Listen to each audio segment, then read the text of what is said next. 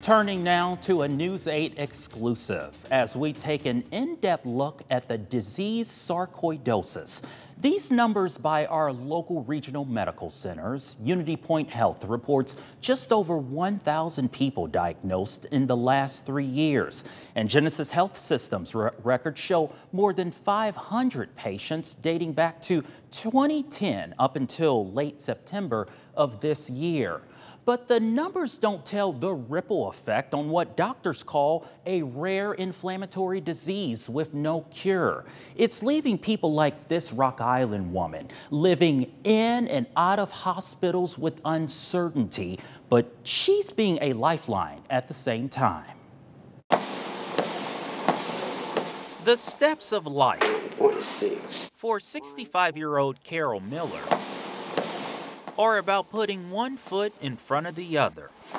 How's this feeling, Carol? Pretty good. Feeling good? Pretty good, feeling good. Pretty How good. short of breath are you feeling? Zero to ten. Carol's struggle to breathe is nothing new. For me personally, it is what it is.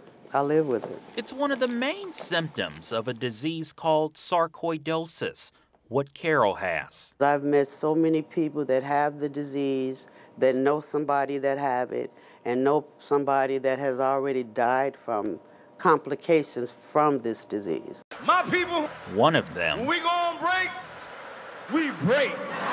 the late legendary comedian Bernie Mac. The sarcoidosis had took a toll on him. I talked with his wife, Rhonda McCullough Gilmore. It is more common than you think. She says it led to lung problems further into his career. No matter how how bad he was uh stricken with it, he always just kept positive and and he used to say, uh, sarcoidosis don't have me. I got sarcoidosis, you know, and he would say, I'm just gonna keep on going. That fight from in his 20s up until 2008, dying at 50 years old. For many, many years, as I say, he went on to, to, to just live life and never had any issues with it. The same can't be said for Carol. Doctors kept telling me allergies, allergies, hair falling, uh, different things like that for years. These were hives on her arms during our interview.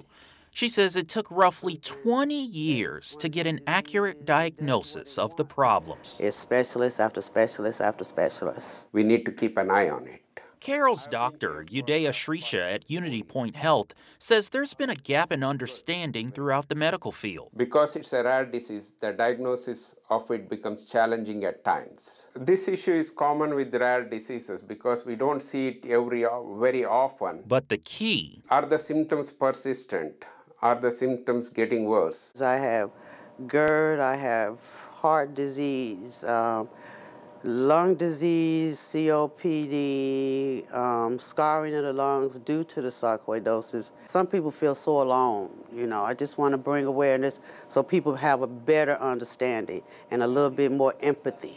And that starts at this table. Carol turning her experiences into something more. I am so glad that you guys came tonight. She's launched a support group in the Quad Cities. This is for family, friends, caretakers, uh-huh. for anybody. It's been so many people in my sarcoidosis community. One minute you're here and the next minute you're gone.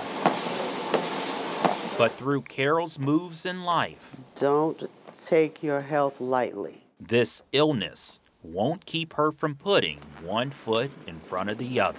Yeah, I just take it one day at a time. In Rock Island, Devin Brooks, WQAD News 8.